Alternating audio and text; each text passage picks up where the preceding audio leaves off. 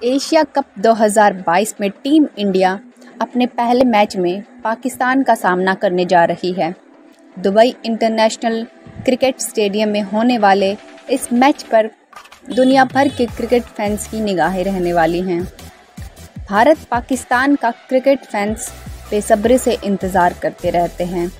आइए जानते हैं, आज होने वाले मैच की वो पाँच बातें जो इसे बेहद स्पेशल बनाएँगी। विराट कोहली की वापसी। विराट कोहली क्रिकेट से 41 दिनों के ब्रेक के बाद पाकिस्तान के खिलाफ मैच में उतर रहे हैं। कोहली को हालिया जिम्बाब्वे दौरे के लिए रेस्ट दिया गया था। इस ब्रेक ने कोहली को एशिया कप के लिए खुद को मानसिक रूप से फ्रेश रखने में ज़रूर मदद किया होगा। कोहली काफ़ी अरसे से फॉर्म में नहीं रहे हैं। ऐसे में फैंस को उम्मीद है कि पाकिस्तान के खिलाफ उनका बल्ला जमकर बोलेगा। वर्ल्ड कप हार का बदला पिछले साल जब दुबई के ही मैदान पर दोनों टीमें टी ट्वेंटी वर्ल्ड कप के दौरान भिड़ी थी तो बाबर आज़म की टीम ने विराट कोहली की अगुवाई वाली इंडिया को 10 विकेट से पराजित किया था।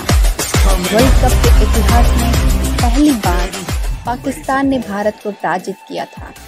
कोहली, रोहित, के राहुल जैसे प्लेयर्स अब भी हार को नहीं भूले हैं।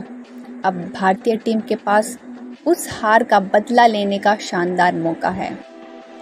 बतौर कप्तान रोहित का पाकिस्तान के खिलाफ पहला टी ट्वेंटी रोहित शर्मा, पाकिस्तान के खिलाफ पहली बार टी ट्वेंटी इंटरनेशनल में कप्तानी करते दिखाई देने वाले हैं।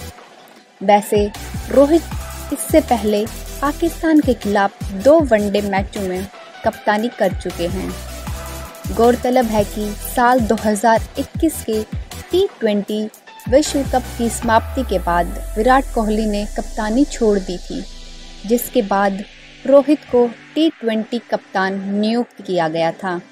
बाद में उन्हें ओडीआई और टेस्ट टीम की भी कप्तानी सौंप दी गई थी।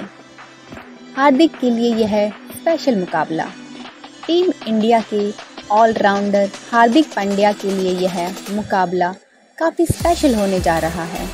साल 2018 के एशिया कप में पाकिस्तान के खिलाफ दुबई में गेंदबाजी के दौरान पंड्या को पीठ के निचले हिस्से में तकलीफ़ आई थी, जिसके कारण उन्हें स्ट्रेचर पर लादकर मैदान से बाहर लाया गया था। पंड्या के लिए यह इंजरी काफ़ी समय तक मुसीबत बनी रही थी। लेकिन अब वह पिछले आठ नौ महीनों से पूरी तरह लय में दिख रहे हैं और बॉलिंग में भी कमाल दिखा रहे हैं। स्टेडियम में दर्शकों का सैलाब। दुबई क्रिकेट स्टेडियम में दर्शकों का सैलाब उमड़ने वाला है। दोनों ही देशों के हज़ारों क्रिकेट फैंस इस मैच को देखने स्टेडियम में जुड़ेंगे।